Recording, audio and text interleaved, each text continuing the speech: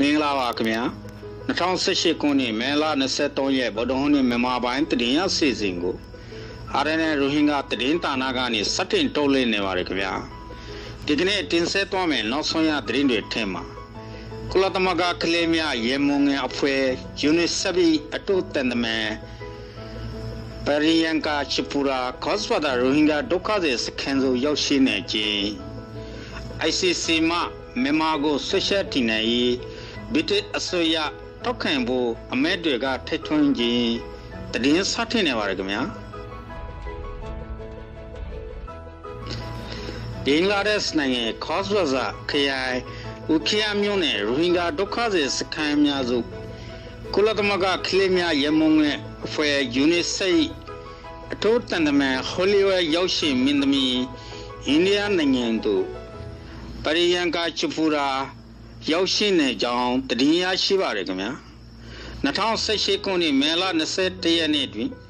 ဇီရိုလိုက်ရိုဟင်ဂျာဒုက္ခသည်စခန်းသို့ရောက်ရှိပြီးဒုက္ခသည်များ၏ကိုယ်စားလှယ်များဟာမိဘမဲ့ကလေးများနဲ့အာဓမဖြူချင်းခံရသည့်အမျိုးသမီးများနဲ့ထွက်ဆုံ မြဲမြံခဲ့ပြီးနောက်မနေ့က22ရက်5လ2018ခုနှစ်တွင်မနက်စေနာရီ40အရှင်ခန်းနိုင်ဘာလိုခလီရိုဟင်ဂျာဒုက္ခသည်စခန်းကြီးနဲ့ဇန်တိုလီဒုက္ခသည်စခန်းသို့တွားရောက်ပြီးဒုက္ခသည်များ၏အခြေအနေများကိုချီးကျူးခဲ့သည့်အပြင်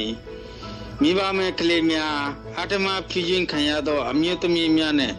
ထွေးဆုံခဲ့သည်ဟုဒုက္ခသည်ကုသလေတဝူက အာရနေဘာမီနျူစုပြောဆိုပါရခင်ဗျာ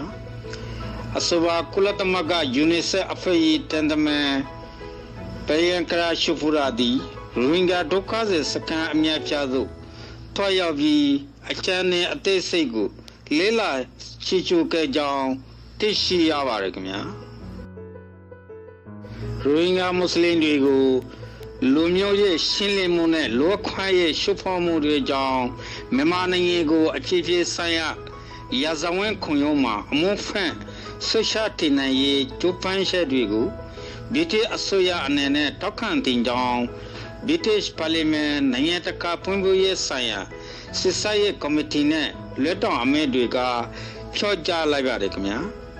ဒါအပြင် British နိုင်ငံကမြန်မာနိုင်ငံကို ခွင့်ရနေတဲ့အခွင့်အရေးအလုံးကိုဖြန့်လေးဆန်းစစ်တင်တယ်လို့လည်းထိုက်ထွန်းထားပါတယ်ခင်ဗျာဒီမိုကရေစီအသွင်ကူးပြောင်းရေးအထက် British နိုင်ငံကအခွင့်အရေးပမာဏ2018ခုနှစ်အတွက်ပေါင်စတာလင်တန်တရာရှိတယ်လို့လည်းသိရပါတယ်။နိုင်ငံတော်အတိုင်ပင်ခံပုဂ္ဂိုလ်ဒေါန်ဆန်းစုကြည်ဟာပြဿနာရဲ့တစ်စေတစ်ပိုင်းဖြစ်လာတဲ့ကြောင်း လောခွားရဲ့ရှုပ်ဖော်မှုတွေရှိတဲ့ဆိုတာကိုငင်းဆိုနေပြီးတရားမျှတရေးနဲ့တာဝန်ကမှုရှိရတို့အတွက်အနောက်ရှေ့ဖြစ်လာတဲ့ကြောင်းလည်း British Parliament Committee ကဆွဆွဲထားပါတယ်ခင်ဗျာမြန်မာနိုင်ငံအနေနဲ့တမတော်ရဲ့လူရဲတွေနဲ့အစိုးရနဲ့လိုအပ်ဖွဲ့စည်းထားဝဲယူမှုဖြည့်ရှင်းမှုမရှိတဲ့အချက်တွေကြောင့်နောက်ဆက်တွဲအကျိုးဆက်တွေရှိတဲ့ဆိုတာ နားလည်ဖို့လိုကြောင်းမြန်မာနိုင်ငံကအကြံနယ်တွေရောက်ထရက်ဖြောင်းလဲနေတယ်လို့ဗြိတိအစိုးရရဲ့နိုင်ငံမြန်မာနိုင်ငံမူဝါဒကလည်းရောက်ထရက်ဖြောင်းလဲဖို့လိုကြောင်းလဲ British Parliament စစ်ဆေးရေးကော်မတီကပြောကြားပါတယ်ခင်ဗျာဒီကော်မတီဟာအရင်ကလည်းရိုဟင်ဂျာဒုက္ခသည်အရေးနဲ့ပတ်သက်လို့အစီရင်ခံစာနှစ်ကြိမ်ထုတ်ပြန်ခဲ့တဲ့ကော်မတီဖြစ်ပါတယ်ခင်ဗျာ ကျွန်တော်တို့ရဲ့အချက်အလက်တွေကိုတက်ရှုမယ်ဆိုရင် www.rohingya.nationalnews.com ကနေဝင်ရောက်ဖက်ရှုနိုင်ပါတယ်ခင်ဗျာကြည်ကျိုးအားပေးခဲ့ကြတဲ့မိဘမောင်နှမ